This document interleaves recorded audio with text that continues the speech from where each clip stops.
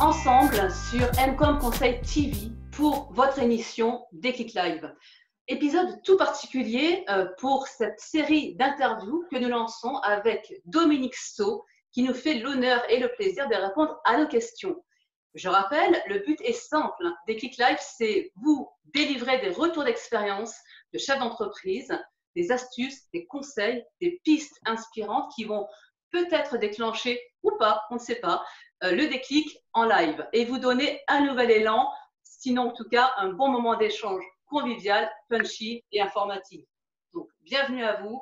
Bienvenue à toi, Dominique. Merci, Mélinda, quel accueil. C'est très gentil. C'est un, vrai plaisir pour moi, vraiment, et, un honneur partagé d'être là. Euh, je, suis, je, suis, vraiment euh, emballé par cette, par cette initiative qui la tienne. Alors, Dominique So, tu vas nous en dire un peu plus sur toi, mais de ce que j'ai cru comprendre, tu as deux grands champs d'activité, à savoir tu es entrepreneur réseau et consultant en stratégie professionnelle et financière, si j'ai bien compris, c'est ça? Oui, absolument. En fait, euh, j'interviens dans deux grands domaines. Euh, tout ce qui va être lié aux possibilités aujourd'hui d'investir dans l'économie réelle. On est dans une époque euh, qui demande bah, un certain nombre d'éléments de, bon sens pour investir l'argent d'une manière éthique. Et puis de l'autre côté, créer de la valeur par la création d'entreprises, la création d'activités. En fait, il y a plusieurs entreprises qui du coup se, superposent dans, toute cette, cette approche. C'est-à-dire que développement global, c'est pour nous l'occasion de mettre vraiment en pratique tout ce qu'on enseigne à d'autres. C'est-à-dire que quand on est dans cet univers aujourd'hui euh, euh, extrêmement mouvant, que ce soit dans la finance ou dans l'entrepreneuriat, on peut avoir des concepts, on peut avoir des stratégies, mais moi ce qui est important, c'est de toujours avoir les mains dans le moteur et les pieds sur le terrain. Et donc développement global, c'est comme un laboratoire en fait. C'est une, une initiative qui nous a permis de fédérer des entrepreneurs, des investisseurs autour de projets challengeants. C'est-à-dire que là, en l'occurrence, on implante une, une marque internationale sur le territoire français et qui permet du coup de, mettre le pied à l'étrier dans le monde de l'entreprise, comme des micro-franchises en fait. Donc, euh, c'est un site aujourd'hui qui permet d'éduquer les gens tout en étant euh, porteur pour lancer son entreprise en mode, on va dire, euh, léger. Développement global, c'est comme l'invention d'un centre de profit qui va aider le bateau Amiral Jeunesse à se développer plus loin, c'est ça? Oui, en fait, pour être plus concret, euh, aujourd'hui, on a en fait, il euh, y, a des sociétés. Euh, la société, en, l'occurrence, nous qu'on aide à se développer, s'appelle Jeunesse. C'est une société qui veut se développer en réseau, qui développe donc des approches pays par pays. En fait, elle cherche des, animations locales. En fait, la possibilité de s'implanter à travers des référents locaux. Et, donc, la problématique, c'est que la multinationale, elle n'a pas forcément les cultures des pays locaux ou de tous les marchés domestiques dans lesquels elle intervient. Donc, en l'occurrence, ce qui nous concerne. On va aider des gens qui souhaiteraient entreprendre avec cette entreprise euh, et euh, donc mettre leur projet indépendant en route à travers justement l'approche, euh, la formation, l'animation, une approche francophone qui les aide à démarrer. Donc on aide des entrepreneurs indépendants à prendre en main une multinationale en quelque sorte. Très intéressant, très très intéressant. Très bien. tu es, à, donc à part cet aspect professionnel en tant que personne, tu es marié, tu as des enfants euh, alors, je suis marié avec une, dame qui est, qui kiné, qui aujourd'hui a quitté son emploi et travaille euh, avec moi au développement de certaines de nos activités. Euh, on n'a pas d'enfant, euh, c'était pas un choix, en tout cas ça s'est passé comme ça. Et donc, on, bah, ça nous donne pas mal d'occasions de, justement mettre en place le style de vie qui, nous correspond parfaitement et d'être dans une autre manière de redonner, en fait, à travers justement l'initiative indépendante. ce qui nous passionne à tous les deux, c'est vraiment cette possibilité de mettre sur pied des projets, de passer le relais à d'autres et de travailler en d'équipe. C'est ce qui nous a toujours euh, animés. La transmission et la collaboration sont des choses qui te tiennent à cœur. Hein, absolument. absolument. Très bien. Alors, maintenant qu'on voit ce que tu fais aujourd'hui, est-ce que tu peux nous en dire un peu plus sur maintenant ta vie d'avant? Quelles difficultés rencontrais-tu à ce moment-là ou quelle frustration était générée par cette vie d'avant? La vie d'avant, c'est avant. Alors, la vie d'avant, avant d'être euh, entrepreneur indépendant, tu veux dire? Ouais, avant de créer euh, des sociétés. Bah, je pense qu'en fait, euh, moi, ce qui m'est arrivé, c'est que euh, ma vie d'avant, elle était très chouette. C'est-à-dire que je n'avais pas de, difficultés particulières, puisque c'est le piège un petit peu quand, quand ça se passe bien pour soi, c'est qu'on est pris dans un plan de carrière. et donc, moi, j'ai eu la chance de travailler aussi bien dans des multinationales que des PME, et, et, à chaque fois avec des postes où j'inventais mon emploi. Donc, j'étais en quelque sorte intrapreneur. Donc, c'est vrai que j'ai toujours cet élan créatif ou la, volonté de créer mon propre emploi, ça a toujours été là. et je venais pas forcément d'un milieu où d'un milieu d'entrepreneur. Donc du coup, ne, venant pas de ce milieu-là, j'avais pas les clés, j'avais pas un certain nombre de réflexes pour me dire mais toi aussi tu pourrais créer ton entreprise. Mais pourtant c'était là. Donc en fait, il y avait à la fois ce sentiment d'avoir des jobs tous passionnants. J'ai eu la chance d'être dans des entreprises qui m'ont vraiment passionné. J'ai vraiment ouvert beaucoup beaucoup de voilà, d'aspects métiers euh, euh, dans, différents domaines. Pour autant, il y avait toujours cette frustration, un sentiment de plafond de verre, ce sentiment finalement de voir que c'était d'autres personnes qui fixaient euh, le niveau de tes revenus, donc ta valeur, de voir que finalement tes horaires, la manière de gérer ton temps étaient organisés par d'autres. Et donc cette frustration qui grandissait de se dire, mais moi j'aimerais bien avoir mon propre projet. Et puis aussi, euh, du point de vue du style de vie, se dire comment déplafonner euh, les salaires et comment euh, aspirer à, la possibilité peut-être de, vivre mieux. Quel a été le moment déclic qui a fait que tu t'es dit, allez, maintenant c'est, je passe à autre chose? Le moment déclic. Je pense que le, moment déclic, ça a été, c'est il y, en aurait eu quelques-uns, mais celui qui, pour moi, et j'ai vraiment en tête, c'est un échange avec euh, le directeur général à l'époque, où ça se passait très bien pour moi, et j'étais plutôt ce genre de collaborateur qui en faisait toujours plus que le job.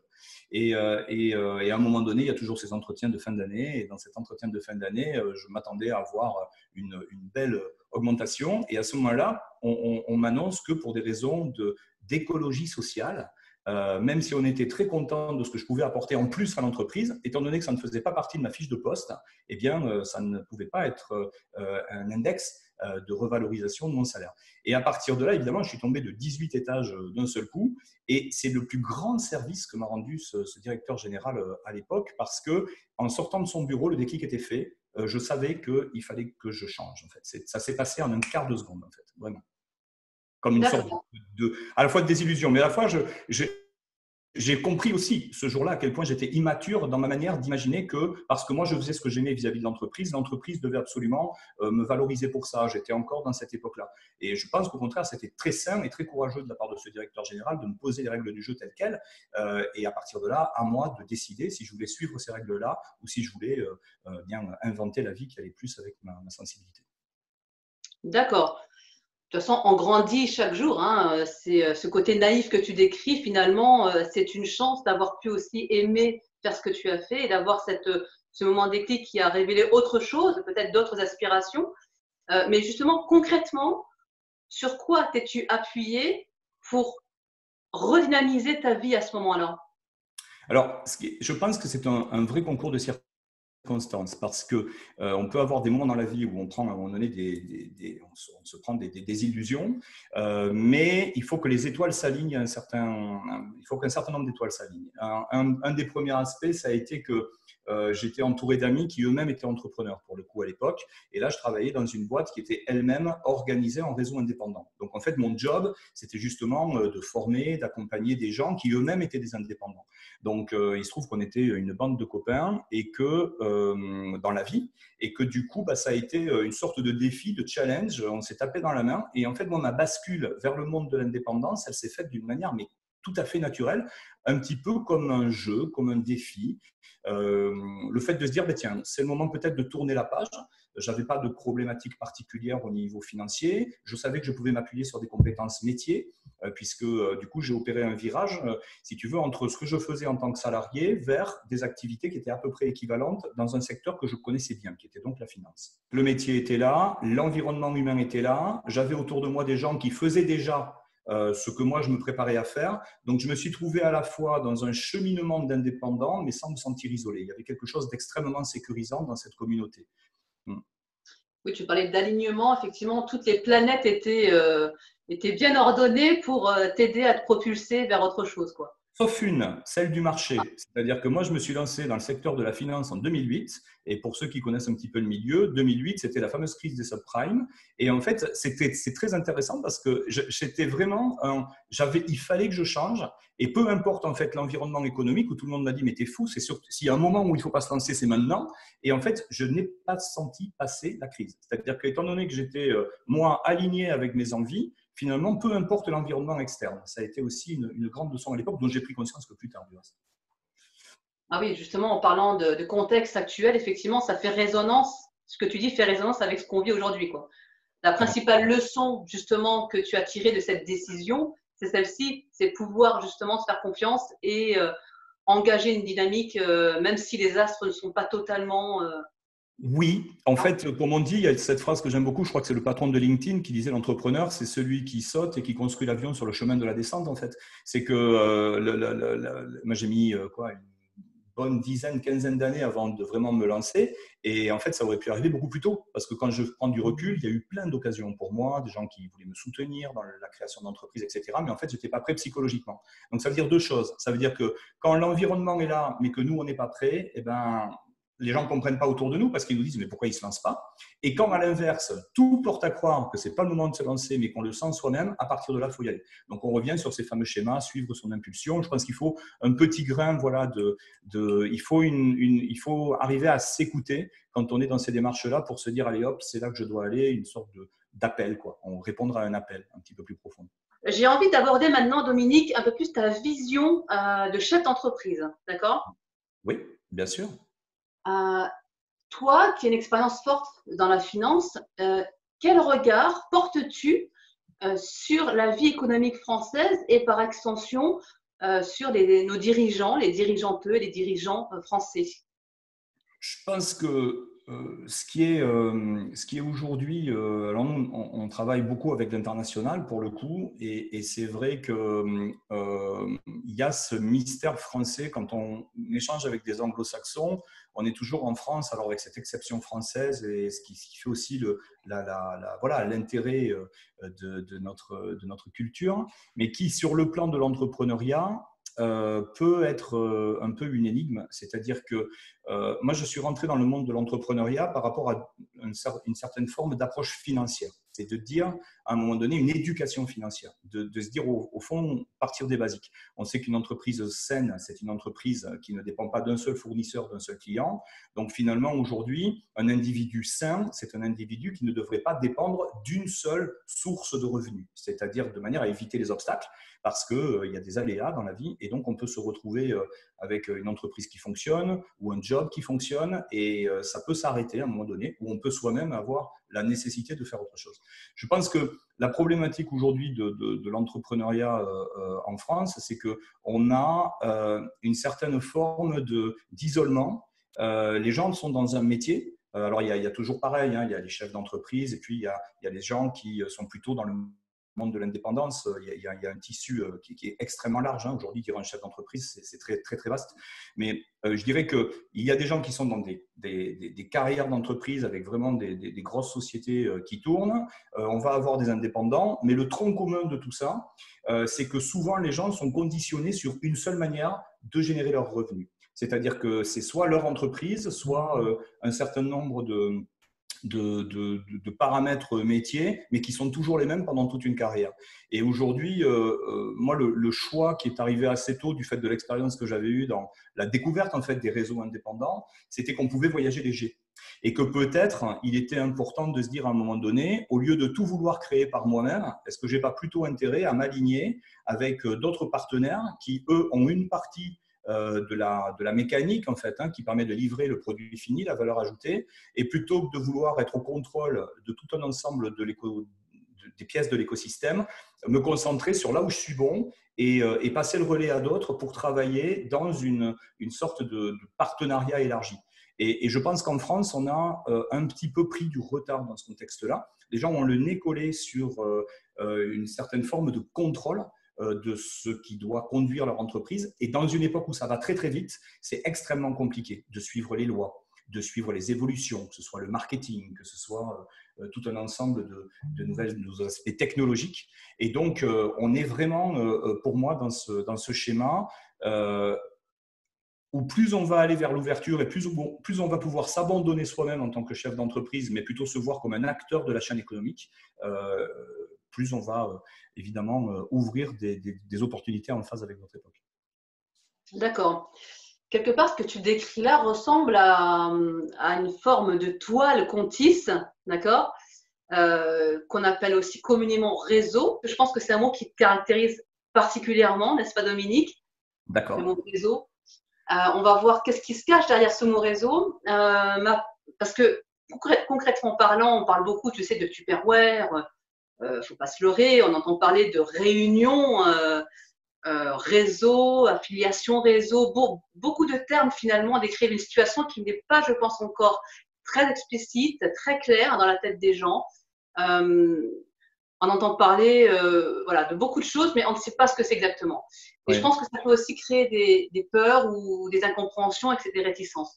Pour toi, qu'est-ce qu'un réseau? Quels sont ses traits, ses caractéristiques et ses préalables? En gros, Dominique, dessine-moi un réseau. Ouais, ouais, bah écoute, euh, tu, fais bien de mettre le doigt dessus parce que euh, aujourd'hui, nous, on aborde tout ça euh, quasiment comme des consultants parce que on, doit vraiment réveiller les Français par rapport à cette nécessité de travailler en, collaboration. Et la collaboration, aujourd'hui, c'est vrai que dans les, éléments que tu décris, sont très caricaturaux, la réunion du perroir ou les réseaux pyramidaux. Enfin, aujourd'hui, il, il y, a, tout un ensemble de, gros mots qui sont souvent le reflet d'un manque d'éducation ou d'un manque aujourd'hui de compréhension de là où va l'économie. Aujourd'hui, il faut comprendre en fait que l'économie bouge très très vite et donc de plus en plus de sociétés vont fonctionner comme des plateformes.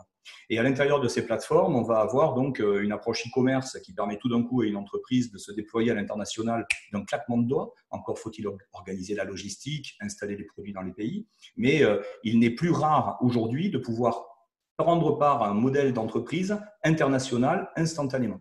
Un réseau, c'est ça. C'est une société qui tout d'un coup dit, moi je vais externaliser euh, ma distribution et je vais confier ma distribution à des acteurs locaux parce que ce sont des gens qui connaissent leur marché. Et donc on est un petit peu dans l'évolution de la franchise, tout simplement. On est dans un, canal, un modèle de distribution euh, qui fait que euh, on a ici une approche qui moi me passionne dans le sens où elle est inclusive. Pendant toute ma carrière, j'ai travaillé aussi bien dans la finance et dans la, création d'emplois. Euh, l'idée, c'était de se dire comment on crée de la valeur pour les gens, comment on crée une valeur durable, diversifiée et avec de l'effet de levier, c'est-à-dire ne plus être payé euh, pour le temps qu'on passe au travail, mais plutôt pour la valeur que j'aide à créer. Et ici, stratégiquement, en tant qu'entrepreneur, ça devient très simple. Euh, est-ce qu'il n'est pas pertinent de se dire, tiens, si quelque chose fonctionne bien, si une entreprise a un vrai succès, comment est-ce que moi, je pourrais être un amplificateur de ce succès? Donc, plutôt finalement que de tout vouloir réinventer dans mon coin, parce que moi, au début, euh, quand j'étais euh, étudiant ou jeune salarié, je me disais, mais pour créer une entreprise, il faut avoir l'idée de génie, il faut avoir le truc. Et en fait, pas du tout. Pour créer une entreprise, il faut juste sentir un petit peu les tendances. Or, aujourd'hui, la tendance, eh ben, c'est qu'il y a un certain nombre de secteurs d'activité qui ont le vent en poupe. Là, on vient de sortir du confinement. Et euh, tous les modèles en réseau, justement, qui savaient travailler en ligne, euh, tirent leur épingle du jeu. On a vu, nous, euh, la branche italienne, par exemple, faire x2 entre le mois de février et le mois de mars, où bah, ça a été le plein confinement en Italie. Et pourtant, la, marque, en l'occurrence, qu'on aide à installer sur le marché français, a explosé sur le marché italien. Euh, dans cette même période, tout le monde est venu euh, euh, nous solliciter dans le fait de se dire comment est-ce que je peux prendre part à ce développement. Et donc le travail en réseau, c'est ça. Le travail en réseau, c'est d'arriver à s'intéresser à toutes les catégories de personnes qu'on a en face de soi pour se dire comment elles peuvent faire partie de l'équipe sans s'embarrasser des contrats salariaux, euh, sans s'embarrasser des modes de collaboration, sans euh, travailler le côté management ou directif, juste en allant plutôt chercher ce qui motive les gens à venir collaborer avec nous. Ça veut dire que nous, on est aujourd'hui en capacité de euh, permettre à des jeunes étudiants de euh, commencer à financer leurs études en ayant euh, un side job, en quelque sorte, une, une, sorte d'école des affaires, apprendre l'entrepreneuriat en parallèle de leur job. C'est plus sympa que d'aller faire des frites chez McDo, même si je caricature un petit peu. Mais on va avoir aussi euh, des, retraités euh, qui souhaitent compléter leurs revenus parce que eux, ce qu'ils veulent faire, c'est retransmettre. Et à leur propre rythme, euh, ils vont pouvoir délimiter le partenariat qu'ils souhaitent avoir avec l'entreprise. Et puis, on a des, capitaines d'industrie, des cadres supérieurs, des, des, cadres en transition qui, eux, veulent carrément opérer un virage de carrière ou carrément amener la marque au plus haut niveau sur le plan national ou sur le plan international. Donc, du coup, quand on travaille en réseau, en fait, on travaille l'humain. Et on va euh, entrevoir comment d'autres métiers périphériques aux nôtres peuvent contribuer et tirer leur épingle du jeu d'un écosystème. Euh, je donne un exemple concret. Là, on travaille dans le secteur santé-bien-être. On a mené une action, par, exemple, avec certains euh, cœurs de métier comme l'ostéopathie ou autre, pour permettre à ces gens-là à la fois de découvrir d'autres pratiques. Donc, on leur amène des protocoles de soins, on amène des gammes de produits, mais on amène aussi pour eux des occasions de rajouter un métier à leur métier et de devenir en quelque sorte des formateurs pour d'autres ostéos qui auraient envie finalement de mettre sur pied cette, cette branche dans leur activité. Donc en fait, l'idée, c'est de se dire qu'on est dans une époque où finalement, si à un, moment donné, la crise économique fait que je ne peux plus exercer mon métier de manière traditionnelle, tous les métiers, par exemple, qui étaient liés au fait de travailler en one-to-one, hein, d'être physiquement avec euh, mon client, eh bien, tous ces métiers-là, aujourd'hui, doivent se réinventer. Et quand on travaille en réseau, on a ça instantanément. C'est-à-dire qu'on peut aujourd'hui permettre à quelqu'un, euh, que ce ne soit qu'à travers l'apport d'affaires, hein, de nous recommander quelqu'un, de nous recommander un professionnel de son entourage et, du coup d'être intéressé financièrement à cette recommandation. Donc ça peut aller aussi bien de la recommandation rémunérée euh, jusqu'aux activités métiers jusqu'au carrément à euh, de la stratégie et la mise en place d'un réseau de distribution, aussi bien sur le web que dans la vraie vie. Donc on est capable, euh, grâce au partenariat que proposent les sociétés en réseau, de mettre ça sur pied. Oui, donc c'est extrêmement modulable, vu les profils très variés euh, qui, qui, se proposent, etc., et qui existent. Effectivement, c'est l'idée de pouvoir, via une intelligence collective, et en tout cas de pouvoir, via cette collaboration, permettre aux uns et aux autres trouver un équilibre de vie quelque part entre euh, euh, effectivement ne plus être payé pour le temps passé, mais plutôt pour sa valeur ajoutée. Et je, me permets de faire un, point aussi sur, sur euh, les nouveaux métiers qui aujourd'hui ont été impactés par cette notion de valeur grâce ou à cause du confinement. Je pense à tous ces métiers d'aide-soignant, personnel soignant, tous ces petits métiers qui finalement avant étaient discrets, voire invisibles, D'ailleurs, on les appelle les invisibles. Et aujourd'hui, on voit à quel point leur valeur ajoutée est cruciale dans, un, dans, une crise sanitaire comme on a vécu là. Donc, cette valeur ajoutée dont tu parles, effectivement, grâce au réseau, cette mécanique réseau permet d'apporter une valeur ajoutée supplémentaire, en tout cas de développer aussi peut-être ses propres valeurs ajoutées. C'est parce que ça, ça se met au, au pluriel aussi. Oui, en fait, Exactement. C'est-à-dire qu'aujourd'hui, c'est plus se voir euh, dans l'époque de 2020. C'est-à-dire à, l'époque de 2020, je peux avoir mon métier, euh, je peux avoir un métier très classique en fait, et on pourra parler même des métiers plus de l'ordre de l'encadrement ou des, métiers de, de, dirigeant. Mais si tu prends un métier même euh, très ordinaire, enfin très très très très brut, un, métier de terrain, un métier coiffeur par exemple, même des métiers artisanaux. Ok, je peux me voir comme un coiffeur, mais je peux me voir aussi comme quelqu'un qui en fait est au contact d'autres personnes qui certes viennent me voir à moi parce qu'il y a une interaction euh, coiffure, mais en réalité, ces gens-là, ils ont une vie autour. Donc ça veut dire que dans le, la possibilité d'apporter plus de valeur à ma clientèle, je pourrais aussi m'intéresser plus largement à l'individu.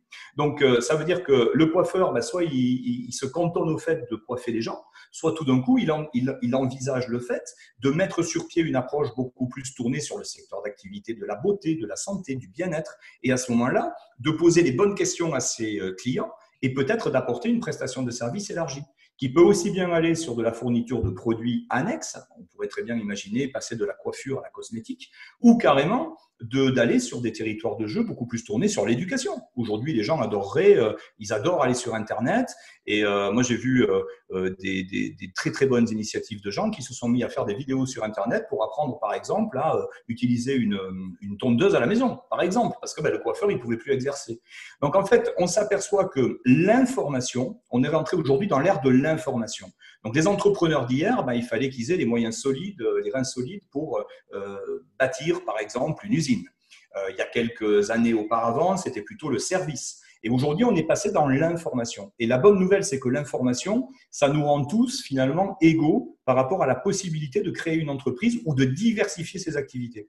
Et nous, ce qu'on aime faire, c'est faire toucher du doigt stratégiquement à un, interlocuteur hein, qui soit déjà installé en tant qu'entrepreneur ou qu'il souhaite le devenir, de lui dire, regarde, de là où tu es, il suffirait que tu regardes un peu les choses autrement pour que tu comprennes à quel point tu peux être un influenceur et tu pourrais participer à créer de la valeur pour d'autres. Et en créant de la valeur pour d'autres, si tu t'oublies un petit peu, tu vas pouvoir nouer des partenariats qui, vont que tu, qui font que tu vas avoir un retour sur investissement sur la valeur que tu aides les autres à créer. Et à partir de là, c'est ce que j'appelle voyager léger. C'est-à-dire que du coup, je peux imaginer avoir plusieurs centres d'intérêt avec des partenaires en affaires élargir l'offre que je peux apporter aux gens que j'ai en face de moi et oublier en quelque sorte ma spécificité métier pour devenir quelqu'un qui a une approche plus élargie des besoins de euh, sa clientèle ou de ses partenaires. D'accord, je comprends. Donc, euh, quelqu'un qui n'a pas d'expérience peut faire du réseau. Oui. Euh, quelqu'un qui a déjà l'activité peut faire du réseau. également. Euh, et quelque part aussi, euh, il va apprendre aussi sur le tas. La pratique du réseau, en fait, s'acquiert aussi avec, euh, sur le terrain, concrètement. Oui, aujourd'hui, en fait, on est sur un secteur d'activité qui est quand même extrêmement détouré. tous les modèles en réseau, c'est à peu près 200 milliards de chiffres d'affaires à l'année, toutes sociétés confondues, 100 millions d'intervenants dans le monde, et la France a pris beaucoup de retard. En France, on associe les réseaux à la vente directe. Donc, ça, c'est extrêmement réducteur. En fait, il y a trois grands métiers. Il y a la vente directe, il y a euh, le marketing relationnel, qui est le côté bouche à oreille un petit peu moderne, hein, donc la fameuse recommandation rémunérée. Là, ça prend pas de temps. Hein. Quand j'ai recommandé le bon resto, le bon ciné, euh, ça m'a pris deux minutes. Hein. Je suis pas obligé d'aller au ciné avec tous les gens avec qui je le recommande. Moi, ça m'a pris deux minutes parce que j'ai trouvé le film sympa. Mais euh, il y a aussi le, côté management en multiniveau, qui est toujours très très mal compris. Le management en multiniveau, c'est cette manière de pouvoir aller à la rencontre de partenaires en affaires par le biais du, du bouche à oreille, en quelque sorte, ou de la recommandation. En fait, c'est ce qui se passe aujourd'hui sur LinkedIn, euh, mais, euh, mais ça se passe sur, euh, voilà, sur, sur, des réseaux proches, en fait, c'est-à-dire les personnes que je connais ou que mon entourage connaît. En fait, on s'aperçoit que stratégiquement, aujourd'hui, on peut attaquer le marché soit en allant eh bien, chercher dans des bases de données des professionnels du secteur d'activité sur lequel on est positionné, soit carrément en travaillant en profondeur parce que quelqu'un connaît toujours quelqu'un qui connaît quelqu'un qui connaît quelqu'un. Et ça, quand on le travaille d'une manière professionnelle, ça s'appelle du network marketing. Donc, c'est un petit peu le grand frère de ce que vous trouverez sur Internet, affiliation, social selling, tout ça, c'est des notions qui commencent à parler, qu'on a l'impression de découvrir aujourd'hui, mais pourtant, c'est un secteur d'activité structuré depuis à peu près 150 ans. Sauf que Internet est passé par là, et donc avec Internet, on a l'esprit plateforme. Donc, plateforme, c'est à la fois du e-commerce, c'est à la fois la possibilité de travailler euh, le buzz euh, et donc euh, le côté viral. C'est le fait aujourd'hui de pouvoir entrer en relation avec quelqu'un qui est peut-être à l'autre bout de la France ou du monde, mais qui partage des affinités avec vous. Donc en fait, le, réseau aujourd'hui permet à des gens d'exprimer un certain nombre de compétences qu'on n'aurait pas été capable de monétiser il y a que ce ne soit que 5 ou 10 ans en arrière on n'aurait pas pu du tout réfléchir comme ça. C'était euh, c'était des, métiers, euh, tu faisais référence tout à l'heure aux réunions, euh, aux ventes en réunion. Bon, voilà, ça, c'est un petit peu les dinosaures de ce type d'activité commerciale. Aujourd'hui, on est en train de parler de web marketing, on est en, en train de parler de funnel ou de tunnel de vente.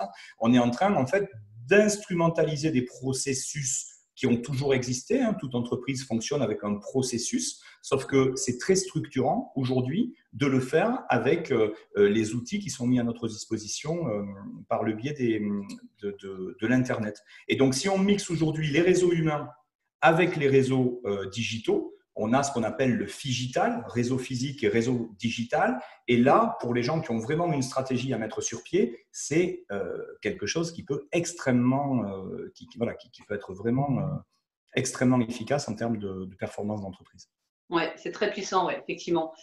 par rapport au réseau, si un chef d'entreprise te demandait un conseil, lequel spontanément tu lui donnerais? Aujourd'hui, on est, souvent sollicité par des, euh, euh, des chefs d'entreprise qui voudraient justement travailler leur réseau d'ambassadeurs ou mettre en place un réseau externalisé. Et la vraie première question à se poser, c'est qu'est-ce que vous voulez faire vraiment? Est-ce que vous voulez créer de l'emploi ou est-ce que vous voulez augmenter votre chiffre d'affaires? Dans l'immense majorité des cas, les patrons de PME, ben, ils cherchent une solution pour augmenter leur chiffre d'affaires. Et ça, c'est très compliqué. Là, il vaut mieux faire euh, euh, du parrainage, des réseaux d'apporteurs. Je pense que l'externalisation est une clé. Hein. Il faut vraiment oublier aujourd'hui le fait de vouloir être partout parce que tout va trop vite. Le marketing va très vite, les réseaux vont très vite. La possibilité d'entrer en relation avec des gens. La société jeunesse dont tu parlais, c'est une société qui, en 10 ans, euh, fait un milliard et demi de chiffre d'affaires dans 145 pays. 10 ans, 1 milliard et demi de chiffre d'affaires, 145 pays, uniquement par le biais du bouche à oreille. Donc, c'est pour les chefs d'entreprise qui nous regardent, ce sont des chiffres colossaux. Euh, et donc, le, vrai premier sujet, c'est ça, c'est où va mon intention? Quand on monte du réseau de ce, de ce type, ce sont des réseaux qui sont dédiés à la création d'emplois. Ce sont évidemment, ils vont entraîner avec eux la production du chiffre d'affaires mais à la création d'emplois. Parce que si je veux rémunérer des gens convenablement pour être mes partenaires en affaires durablement, eh bien, pour leur donner la rémunération à laquelle ils aspirent, il faut que moi, je sois capable de servir en production. Donc, ça veut dire que je, dois être capable de, de, mettre à l'échelle ma croissance. Et ça, il y a peu d'entreprises aujourd'hui qui sont capables de le faire parce que quand vous démarrez du réseau, qu'il soit physique ou digital, vous avez tout d'un coup une explosion de la demande en fait, parce que ben, parce que les gens, ça devient leur gagne-pain. Donc en fait, il n'y a rien de plus puissant que de travailler avec des gens qui eux-mêmes vont gagner leur vie grâce à vous dans votre écosystème, mais en tant qu'indépendants. Donc c'est ça qu'on fait. C'est qu'on aide aussi bien euh, les, ces dirigeants d'entreprise à, à, observer que peut-être il faut qu'ils abandonnent une partie de leur précaré, parce que le réflexe classique, c'est le dirigeant qui dit, je voudrais évidemment développer mon chiffre d'affaires, mais je ne veux pas leur donner trop aux commerciaux. Et c'est là qu'on a des ambiguïtés. Aujourd'hui, euh, les sociétés qui travaillent vraiment uniquement sur des modèles purs de réseau, redescendent à peu près 50% de leur chiffre d'affaires euh, pour la rémunération euh, de, ces réseaux sur le terrain. Et c'est beaucoup plus puissant que de payer de la pub ou du marketing, parce qu'en fait, ces sociétés ne payent que si une action commerciale est menée sur le terrain. Donc forcément, ça donne lieu derrière à des gens comme nous, ça donne des idées, parce qu'on se dit, mais OK, si j'ai un contrat clair avec une entreprise, alors je peux moi-même faire mon propre recrutement, investir dans mes outils de formation, mettre sur pied des techniques d'animation. Et c'est ce qu'on a fait, nous, avec la marque Développement Global, où on a carrément créé tout un environnement qui permet de euh, mettre le pied à l'étrier et de créer de la production. Mais parce qu'on sait que derrière, la multinationale est capable euh, de tenir le, pavé, euh, quelles que soient les ambitions du réseau. Donc, euh, ce que ne seront pas capables de faire euh, euh, toutes les tailles d'entreprise. Voilà. Donc, le, conseil quand on est en train de réfléchir réseau, c'est que le dirigeant se demande exactement ce qu'il recherche. Quel est son objectif? Si c'est juste avoir une croissance linéaire, c'est une chose. Euh, monter des réseaux de partenaires indépendants, euh, c'est créer de l'emploi. Et donc là, il faut presque que je me prépare à, à, ce que ma croissance soit euh, spectaculaire et donc que je m'entoure d'autres investisseurs ou que je, que, je, sois dans une démarche de croissance forte. la deuxième idée, c'est que ça prend du temps. On est sur l'humain là. Donc en fait, l'humain, ça se travaille pas comme ça. Aujourd'hui, dans ces modèles-là, on va de plus en plus arriver à une nécessité pour les gens d'ouvrir les yeux sur la nécessité d'avoir plusieurs activités diversifiées, de, de, préparer leur sécurité financière. Et donc, par rapport à ça, on doit amener des gens qui n'y pensaient pas il y a quelques années à opérer peut-être un virage entre l'emploi classique, qui soit salarié ou indépendant, hein, mais une seule source de revenus vers plusieurs sources de revenus. Ne pas être celui dont dépend la création de revenus. Tant que j'ai un job ou tant que mon entreprise est liée à ma présence physique au travail, c'est pas une bonne stratégie. Et on estime aujourd'hui qu'une société jusqu'à 500 salariés, le dirigeant ne peut pas s'exclure parce que quand le dirigeant s'écarte, eh bien sa société euh, petit à petit, ben, le classique c'est quand le chat n'est pas là, les souris dansent. Mais c'est vrai qu'aujourd'hui, on a beaucoup de dirigeants de PME qui sont certes propriétaires de leur entreprise, mais parfois c'est plutôt leur entreprise qui les possède. Et, c'est pour ça que j'insiste sur le fait de se dire on peut voyager léger. Je veux dire, aujourd'hui, dans, le modèle qu'on évoque, euh, l'un des, des plus gros, euh, euh, l'une des plus belles réussites européennes, c'est un garçon qui a 34 ans, qui est en Allemagne. il a un salaire à six chiffres mensuels. Alors, évidemment, c'est quelqu'un qui crée de l'emploi, c'est quelqu'un qui est devenu une rockstar dans son domaine, mais ça fonctionne vraiment. Donc, en réalité, on est capable aujourd'hui de créer de la valeur et de mettre sur pied des activités alors que ces sociétés-là euh, ont déjà tout pensé. On est dans de la mutualisation. Donc, euh, ce à quoi pourraient penser les dirigeants aujourd'hui, c'est peut-être se dire comment est-ce que je pourrais modéliser mon processus de travail, euh, créer des outils qui vont aider les gens à développer finalement mon entreprise avec des outils que moi j'ai pensés pour eux, mais leur donner une, indépendance dans la manière dont ils souhaitent le faire. Certains le feront à temps partagé, d'autres le feront à plein temps mais je dois euh, me demander comment demain je peux en fait modéliser mes processus de travail pour les mettre dans les mains d'autres personnes, pour dupliquer ce que certains cadres ou, euh, mon réseau commercial sait faire. Peut-être que demain, ça, je pourrais euh, en faire une proposition de valeur pour créer de l'emploi à l'extérieur de, de mon entreprise. D'accord, très bien. Merveilleux conseil pour nos dirigeants qui nous écoutent que de repenser peut-être les croyances limitatives, de repenser penser les modèles et de pouvoir se projeter vers quelque chose de plus stimulant, de plus agile et peut-être de plus adéquat par rapport aux attentes euh, de leurs collaborateurs, des consommateurs, des partenaires, etc. Euh, Dominique. Oui. Je suis allée fouiller un peu. Euh, j'ai questionné un peu ton entourage. On m'a parlé de toi comme un bureau de travail, comme une force tranquille. Je hmm. cite, force tranquille. justement, toi, en tant que dirigeant, es-tu capable de lâcher prise et trouves-tu le temps euh, de trouver justement un équilibre entre la vie perso et la vie professionnelle? Waouh, euh, vaste sujet. En fait, euh, oui, c'est normal quand tu dit ça. force tranquille, ça dépend. plus on est proche, moins c'est tranquille, en fait. Hein. Il faudra dire ça à ma femme. bourreau de travail, je dirais plutôt passionné. En fait, je pense que la, majorité des gens aujourd'hui qui sont dirigeants, ça s'impose à eux. Hein. Euh, enfin, quand je dis dirigeant, entrepreneur, en fait. Je pense que l'entrepreneur, puis d'ailleurs, c'est un état d'esprit. Au fond, euh, euh, en fait, on parle de quoi? C'est toujours des concepts, tout ça. L'entrepreneur, c'est qui? C'est celui qui est propriétaire d'une entreprise, mais de toute façon, il a un job. puisque du coup, il vient, il exerce un job de gérant ou un job de manager ou un job d'expert ou un job d'artiste. Mais en fait, à la fin de la journée, on est tous à peu près égaux. Donc moi, j'aime cette approche euh, d'égalité et, j'ai cette chance de, toujours, euh, j'ai toujours besoin de, savoir de quoi je parle. Donc c'est vrai que ça a créé cette enseignabilité. Je passe mon temps à étudier, euh, j'adore ça. Et en fait, c'est vrai que pour les gens qui nous observent de l'extérieur, je sais qu'on a un mode de vie avec Corinne qui est parfois déroutant parce que les gens ont le sentiment qu'on est complètement. En fait, on a un mode de vie privé qui est très très imbriqué avec notre vie pro. Mais, mais, pas, mais parce que pour moi, il n'y a pas de vie pro.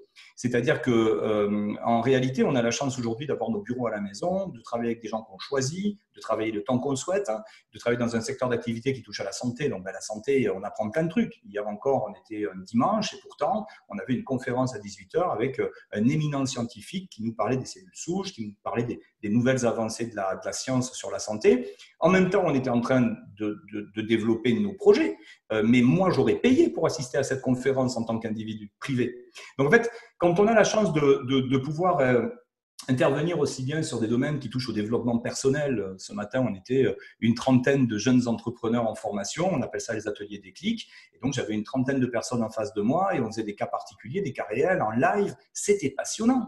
Et quelle époque formidable On est en plein confinement. Alors nous, on a mis ces ateliers sur pied pour le confinement. Le confinement est fini, mais les gens sont toujours là. Donc c'est qu'il y a une vraie demande en fait. Le confinement a permis aussi de révéler ces besoins. Donc bourreau de travail, ben, en fait, je bosse beaucoup mais, mais j'ai pas l'impression de bosser. Donc en fait, moi, je, voilà, on est en train en ce moment d'étudier euh, euh, comment on fait pour euh, voilà, craquer le code de LinkedIn ou, ou utiliser des, des les, les, médias. Je suis passionné de vidéos, par exemple. Et eh ben du coup, voilà, en même temps que j'apprends à faire des vidéos, je peux en plus les faire dans un environnement qui m'est familier. Donc voilà. Comment on concilie la vie privée la vie professionnelle? Ben, Nous, on travaille en couple. Incroyable, hein Alors, mais je, ben oui, ben oui, tu vois, Corinne a lâché son job de, kiné parce qu'on avait des activités tous les deux. Donc, on travaille à la maison, on travaille en couple. Euh, on a en plus un mode de vie euh, très, très light, quoi, puisque du coup, n'ayant pas d'enfants, c'est vraiment que des choix. On travaille avec des gens qu'on choisit.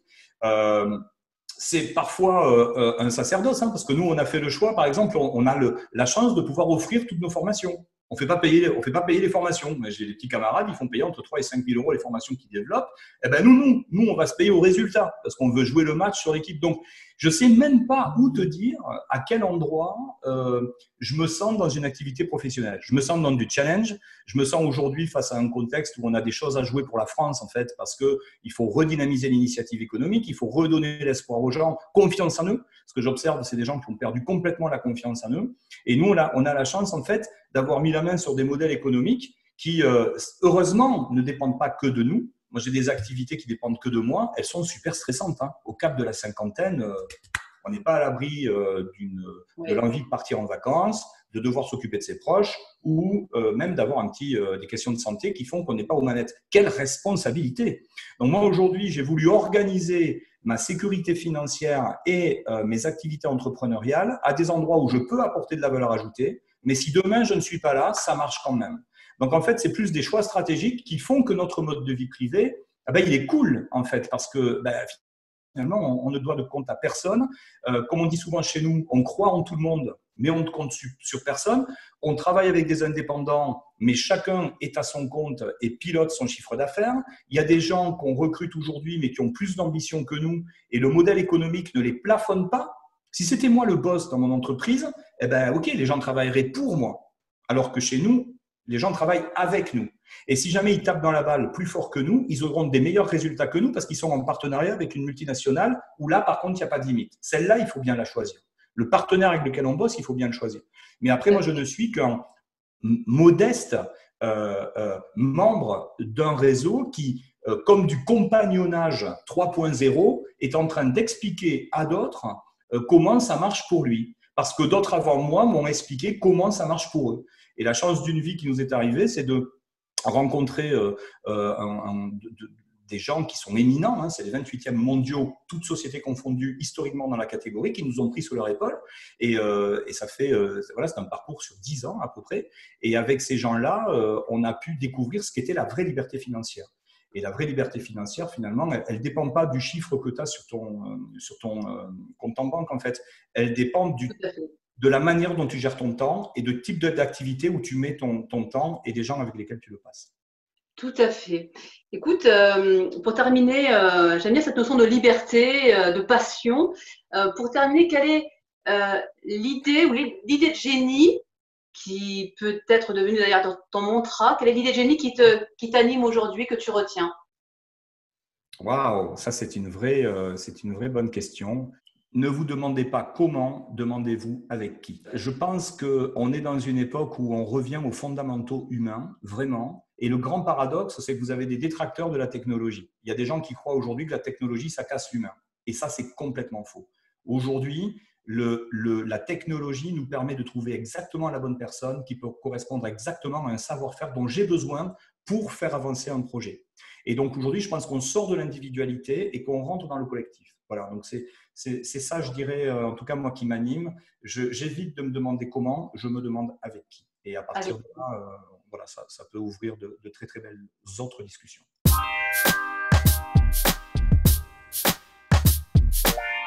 Ah, c'est compliqué. Euh, euh, domicile. Indépendant. Il y aurait mille choses à dire, mais je vais dire virtuel quand même. Expérience, sans hésiter. Euh, mondial, je suis obligé de dire mondial. Ouais. Alors là, euh, lundi, vendredi, euh, les, deux, là c'est on partout. Plutôt, plutôt rock'n'roll, ouais. Parachutisme, mais comme ça quand même. Hein. Je ne sais pas qui pourrait dire management directif aujourd'hui, hein, donc pas participatif, même, même peut-être peut-être pas de management du tout, leadership. C'est une bonne question ça. Euh, je vais dire scène, euh, mais il n'y a pas de bonne scène sans, euh, sans vrai très grand coulisses. Mais voilà, s'il n'y a que la face immergée de l'iceberg, à un moment donné, ça ne marche pas non plus. Donc je vais dire scène, mais avec, parce que les coulisses sont là. Et si on passe à l'action Et si on invitait nos chers spectateurs, dirigeants, dirigeanteux, à se dépasser, à relever le défi. Construisez votre réseau. Si ça vous intéresse, je vous invite euh, à nous écrire à contact@ncom-conseil.fr. Nous vous expliquerons par la suite comment ça peut s'organiser. En tout cas, n'hésitez pas parce que les places sont limitées à 15 dirigeants, dirigeanteux. C'est sur sélection. Donc, euh, saisissez la perche euh, qu'en votant avec Dominique. On a beaucoup de dirigeants qui adorent ça, hein. c'est le côté business game. En fait, euh, nous, le modèle qu'on a, c'est un modèle dans lequel, euh, grosso modo, la seule variable, c'est vous. donc, moi, ça m'excite, c'est-à-dire de se dire, grosso modo, qu'est-ce que je peux donner quand tout est sur la table pour que je puisse réussir mon projet. ici, on est sur l'activité à laquelle on pense dans ce contexte. C'est une activité où vous aurez à la fois une entreprise, une gamme de produits, un plan de rémunération, marketing, formation, outils Internet, tout est prêt, euh, une marque à implanter. Donc c'est grosso modo, qu'est-ce que je peux donner en tant que dirigeant quand tout est là et où euh, et le potentiel, le timing, le marché est là aussi et, euh, et, je suis la seule donnée variable. Voilà, donc si ça, ça vous intéresse de relever le défi, en effet, euh, on a, on a de, belles choses à, partager. Et puis, c'est un excellent outil d'auto-évaluation euh, pour identifier des axes d'amélioration. On a beaucoup de DRH qui travaillent avec nous là-dessus. Et, c'est vraiment, euh, alors, il faut que ça s'adresse à des gens qui sont coachables, comme on dit. Hein. Ça, s'adresse à des gens qui ont envie d'aller au-delà de leurs habitudes, euh, parce qu'évidemment, les égaux sont un peu chahutés. mais ce qui, du coup, il faut accepter le fait d'être la, la donnée variable. Mais ça, si ça vous intéresse, je peux vous assurer que ça peut tout d'un coup vous connecter à ce qui se fait de mieux au niveau international, parce qu'on travaille avec une multinationale qui est vraiment, vraiment au top niveau là-dessus. Et on, a tout à y gagner en tant que dirigeant. Alors, jouons? Allez, joue. Inscrivez-vous. Inscrivez-vous, euh, chers téléspectateurs, chers dirigeants, dirigeanteux. Dominique, merci beaucoup pour le temps accordé pour cette interview. Ce fut un plaisir. Merci à toi. C'était très, très, très intéressant.